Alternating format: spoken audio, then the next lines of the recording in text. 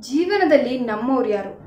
ಈ ಪ್ರಶ್ನೆ ನನಗೆ ನಿಮಗೆ ಯಾವಾಗಲೂ ಕಾಡ್ತಿರುತ್ತೆ. ಈ ಪ್ರಶ್ನೆಗೆ ಉತ್ತರ ಏನು? ನಾವು ತುಂಬ ಕಷ್ಟದಲ್ಲಿದ್ದಾಗ ನಮಗೆ ಯಾರು ಸಹಾಯ ಆಗ್ತಾರೋ ಅವರೇ ನಮ್ಮವರು.